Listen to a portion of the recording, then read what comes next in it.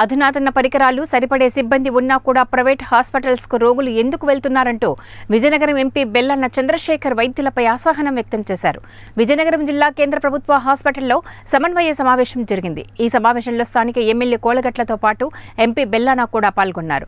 హాస్పిటల్లో పరికరాలు సరిగ్గా పనిచేయటం లేదని అవి మరమ్మతులకు గురి అయ్యాయంటూ డాక్టర్లు చెబుతున్నారని చాలా మంది బాధితులు ఆరోపిస్తున్నారని ఎంపీ బెల్లన్న సమన్వయ సమావేశంలో ప్రస్తావించారు.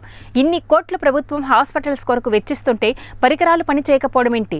అసలు హాస్పిటల్లో వైద్యులు పని చేస్తున్నారా చేస్తూ ఉంటే రోగుల బంధువుల నుంచి మాలాంటి ప్రజాప్రతినిధులకు ఎందుకు ఫిర్యాదులు వస్తున్నాయని ఎంపీ ప్రశ్నించారు.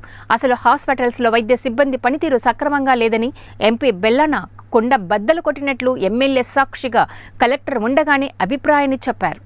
అనంతరం ఎమ్మెల్యే స్వామి మాట్లాడుతూ జిల్లా కేంద్ర వైద్యశాలపై వచ్చిన ఆరోపణలపై కాస్త దృష్టి పెట్టాలన్నారు. కార్యక్రమంలో జిల్లా కేంద్ర ఆసుపత్రి superintendent doctor Sitaramaraju DCHS doctor G Nagabhushanarao DMHO doctor SV Ramanakumari committee సభ్యులు వైద్యులు తదితరులు పాల్గొన్నారు. ఓ లోకల్లో ఉన్నారు కనుక గవర్నమెంట్ హాస్పిటల్ మీద హై ఎక్స్పెక్టేషన్తో పబ్లిక్ అందరూ కూడా ఉన్నారు.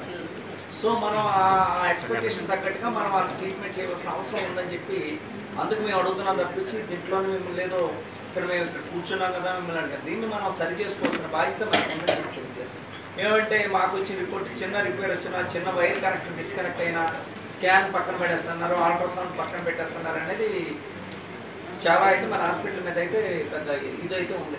సార్ మన పక్క రాస్తున్నారు. మన గవర్నమెంట్ హాస్పిటల్లో ఎక్విప్మెంట్ ఉండగా గవర్నమెంట్ హాస్పిటల్లో కూడా పక్కకి వెళ్ళవలసిన అవసరం పనే అడుగుతున్నాను నేను?